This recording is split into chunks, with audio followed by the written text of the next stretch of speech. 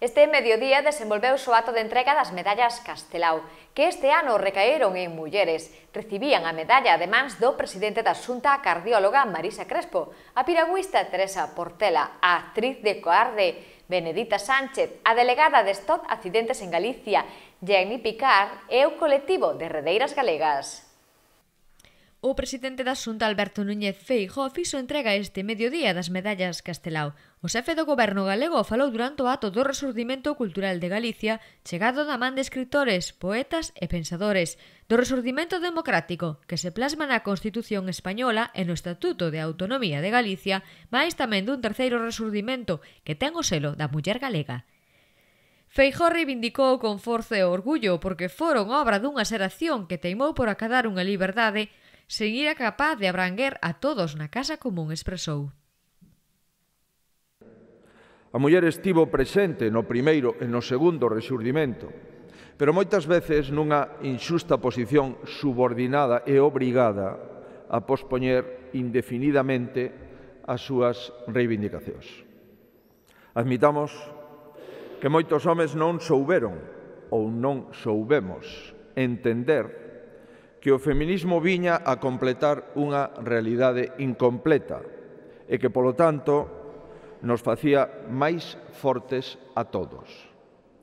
A diferencia de outras revolucións que teñen como obxectivo a sustitución dunha parte da sociedade por outra, relegando ou asovallando a aqueles que antes tiñan unha posición teóricamente privilexada, o feminismo democrático quere ser copartícipe na dirección da sociedade.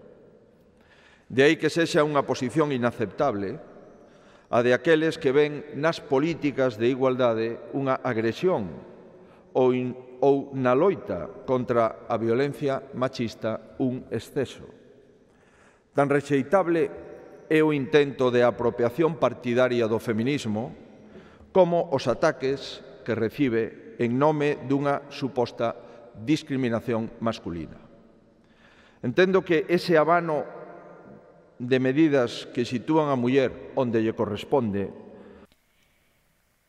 O presidente galego destacou a virtude e os valores das mulleres que os recibiron tan insigne galardón a cardióloga Marisa Crespo, a piragüista Teresa Portela, a actriz de Oquear de Benedicta Sánchez, a delegada de Stop Accidentes en Galicia, Jenny Picard, e o colectivo de Redeiras Galegas un dos grandes referentes internacionais no campo da insuficiencia cardíaca e do trasplante cardíaco chamase Marisa Crespo. Non sabemos en que momento naceu unha vocación que a levou a dirixir a Unidade de Insuficiencia Cardíaca e Trasplante Cardíaco no Complexo Universitario da Coruña, a ser profesora titular de Medicina na Universidade da Coruña, xefa do Centro de Investigación Meomédica en Red Cardiovascular e a coordinadora do Rexistro Español de Tumores post-trasplante cardíaco, entre outras cousas. Si sabemos que está entre as protagonistas do rexurdimento con marca femenina. Deixamos a cea natal da doctora Crespo para louvar unha galega nada en Cangas do Morraz, que fixo do piragüismo un arte.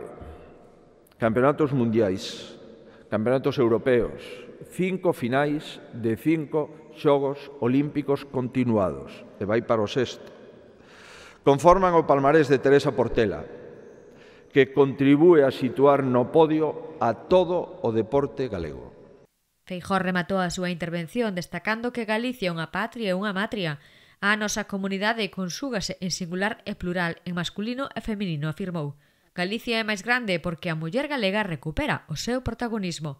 Faino grazas á loita das precursoras, a estar integrada nun espazo europeo que garante e defende a igualdade como en ningún outro lugar do mundo. É unha democracia que debemos coidar e valorar sen descanso, faino tamén como consecuencia de pequenas conquistas que contribúen a un gran triunfo sobre a ignorancia, sobre a incomprensión, sobre o fanatismo que tivo como vítimas as mulleres, afirmou.